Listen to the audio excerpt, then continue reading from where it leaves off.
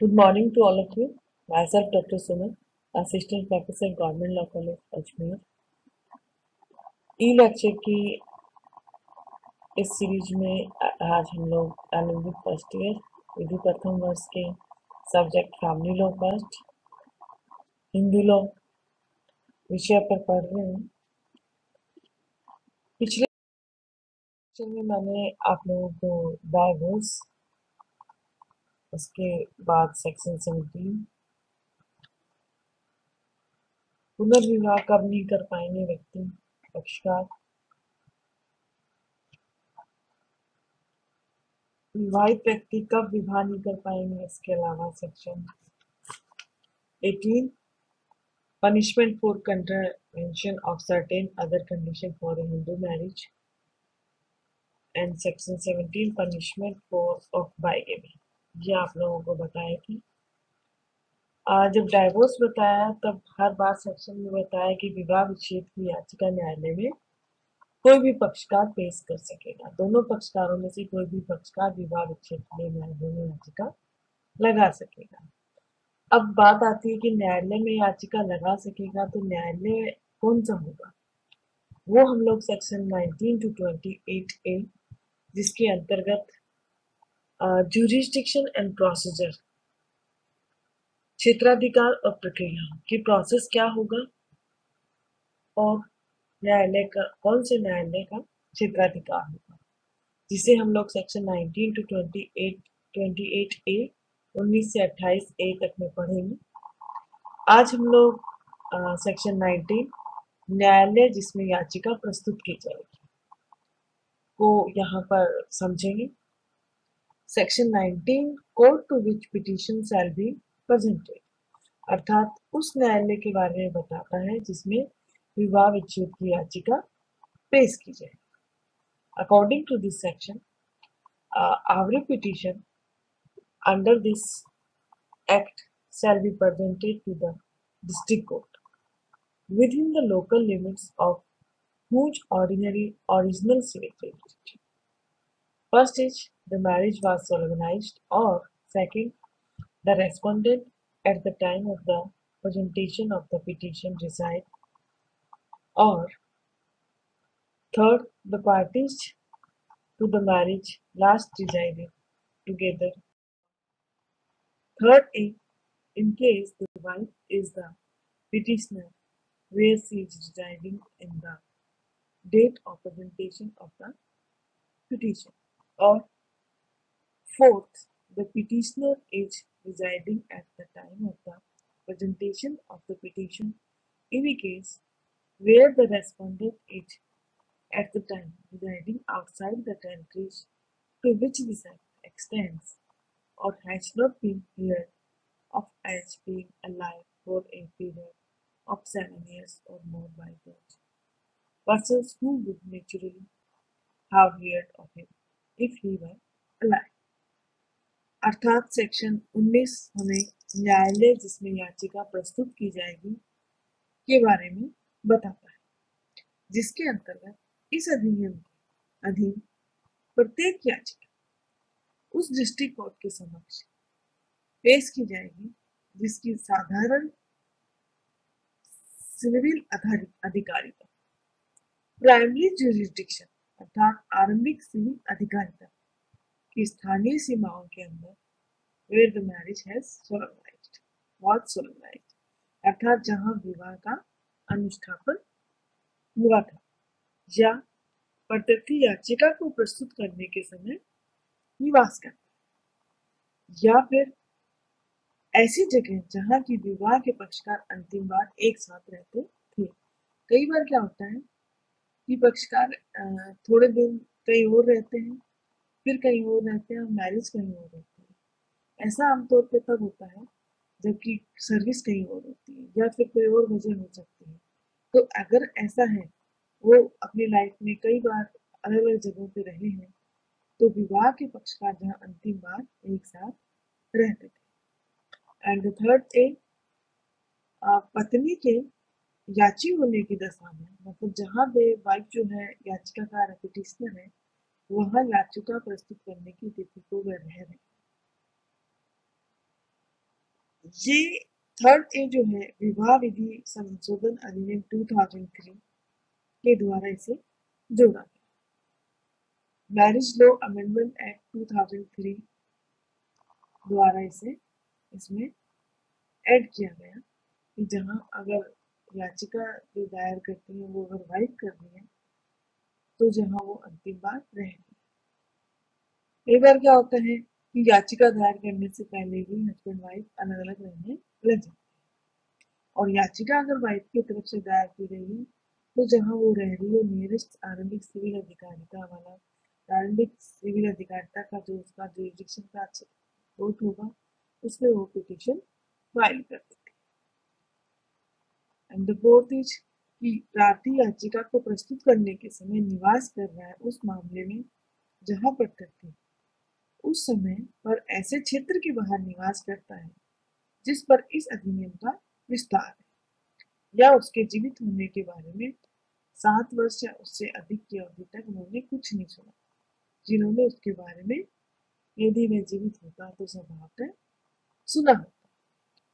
अर्थात हम इसे, इस प्रकार समझ सकते हैं कि जहाँ भी पक्षकारों की मैरिज हुई मैरिज लॉ अमेंडमेंट एक्ट 1976 द्वारा सेक्शन 19 को अमेंडमेंट करते हुए ये कहा गया कि न्यायालय के क्षेत्राधिकार, निवास के आधार पर न्यायालय की अधिकारिता होनी चाहिए।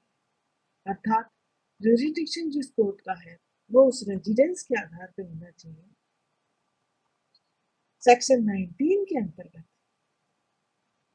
जब कोई वाद न्यायालय में लाया जाता है तो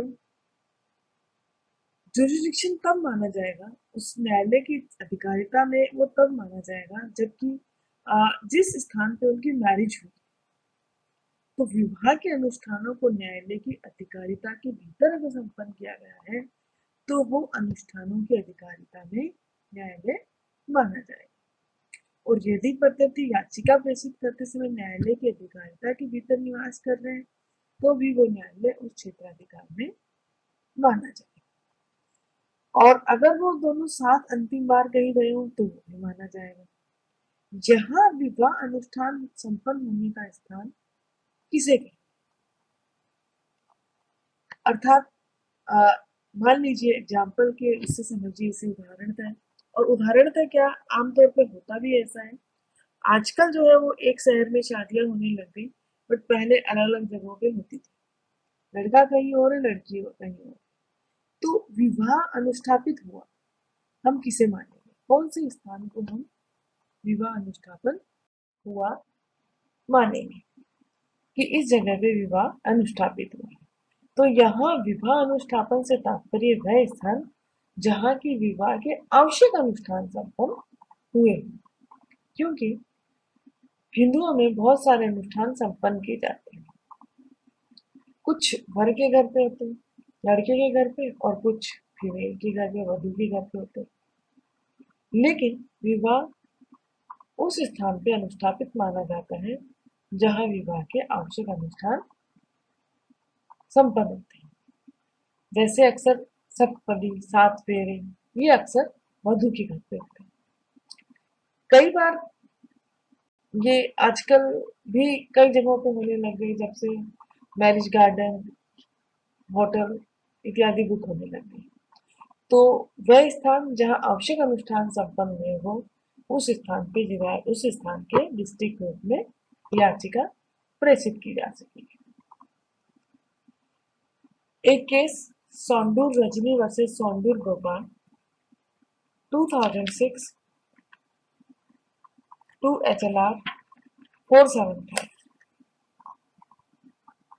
Naveen Chandra versus Leena 2005 Bombay double bench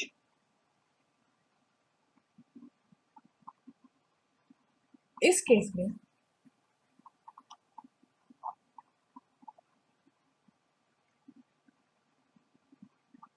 जहाँ पे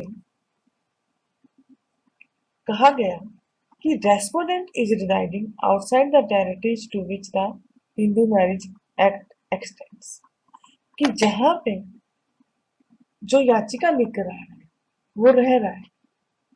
अगर वो उस टेरिटरी के बाहर है, जहाँ पे हिंदू मैरिज एक्ट एक्सटेंड हो रहा था तो ये माना जाएगा कि जहाँ उनका निवास स्थान है, वहाँ भी वो याचिका फ़ाइल कर सकते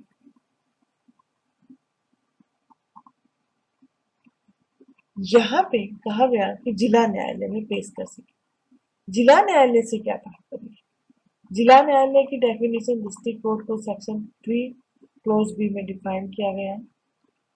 एक case Lad Kanwar versus Jagdish A I R 1979 Rajasthan one nine इस केस में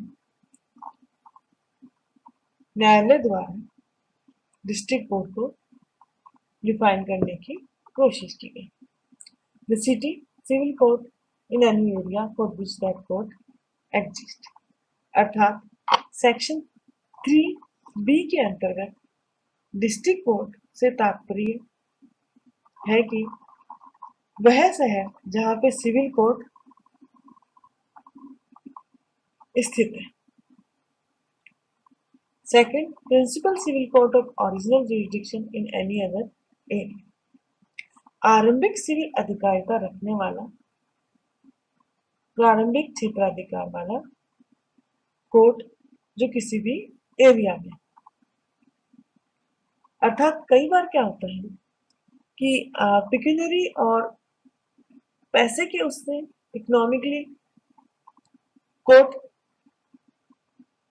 में केस दायर होते हैं तो आरंभिक जो क्षेत्राधिकार वाला सिविल कोर्ट होगा वो जिस भी एरिया में स्थित है। And third is any other civil court as having jurisdiction under the Hindu marriage act 1955 अर्थात हिंदू विवाह अधिनियम 1955 के अंतर्गत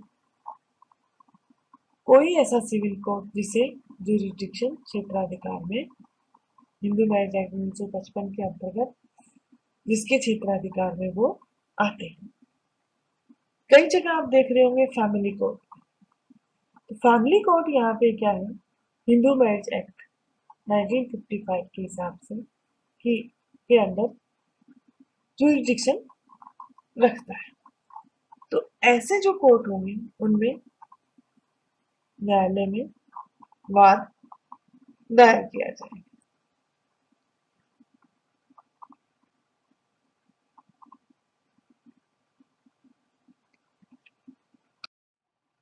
रेजिडेंस ऑफ़ रेस्पोडेंट अब हम, जैसे हम बात कर रहे हैं कि उनका निवास स्थान तो निवास स्थान से क्या तात्पर्य है?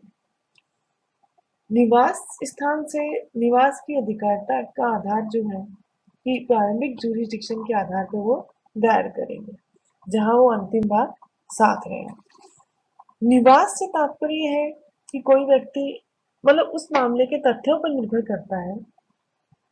कई बार क्या होता है, व्यक्ति अपने जीवन में कई घर बना लेते हैं। तो निवास स्थान का तात्पर्य यहाँ पे स्थायी घर से टेम्परेरी कोई ऐसा घर नहीं जहाँ की वो कार्य के सिलसिले में जाता आता है। जैसे कि कोई व्यक्ति टूर पे रहता है अक्सर तो उस दौरान वो बाहर रहता है। तो जहाँ वो रहता है या ऐसे किसी उसने पर्पज के लिए अपना एक वन रूम सेट या कुछ ऐसा इंतज़ाम किया हुआ है तो ऐसा कोई स्थान जो टेम्परेरी बनाया गया है, उसे निवास स्थान नहीं माना गया। Jeewanti Pande versus Kishan Chandra Pande 1981 supreme court four C C five इस केस के अंतर्गत the word residence mean the actual place of residence ये बताने की कोशिश की गई कि रेजिडेंस से तात्पर्य, निवास से तात्पर्य यहाँ पे जो उनका एक्चुअल प्लेस है मतलब जो उनका परमानेंट स्थान है, उसे यहाँ पे निवास स्थान माना है कैजुअल और temporary visit do not constitute residence अर्थात टेम्परेरी अगर कोई व्यक्ति कहीं पे जाता आता है तो उसे उन्होंने निवास स्थान नहीं माना। है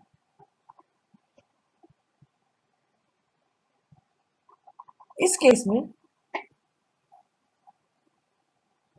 निवास स्थान की अधिकारिता, न्यायालय की अधिकारिता के लिए निवास स्थान की परिभाषा में कोई भी टेम्परेरी स्थान नहीं आता है। अगर कोई स्थान जहाँ पे पक्षकारों के विवाह अनुष्ठान संपन्न होने का स्थान नहीं है या जहाँ पे पति पत्नी कभी भी साथ नहीं रहे इट मीन्स टेम्परेरी जहाँ पे अगर एक पार्टी रह रही हो तो वो स्थान भी यहाँ पे निवास स्थान के अंतर्गत रेजिडेंस के अंतर्गत नहीं आएगा। लास्ट रेजिडेंस से तात्पर्य, Jagir Kaur versus Jaswant Singh A I R nineteen sixty three supreme court one five two one यहाँ पे कहा गया कि residence does not mean domicile nor does it mean casual stay और फ्लाइंग विज़िट अर्थात यदा कदा कहीं पे आना या ऐसे ही कहीं पे रुकना या अधिवास करना, ये सब रेजिडेंस के अंतर्गत नहीं आते। इसी तरह Narasimha Rao versus Venkata Lakshmi 1991 three supreme court cases four five one इसमें भी यही कहा गया residence should not be temporary it must be intended to be permanent for future अर्थात, यहाँ पे निवास स्थान किसी ऐसे स्थान को नहीं माना गया, जो कि अस्थायी रूप से जहाँ पे वो रहते हैं। इसे इस प्रकार हम समझ सकते हैं कि मान लीजिए हस्बैंड वाइफ ने कोई स्थान नहीं बनाया। एक स्थान से दूसरे स्थान पे घूमते रहे कभी कहीं किसी और जगह, कभी कहीं। कहीं कहीं और। तो जहाँ वो रहते रहे,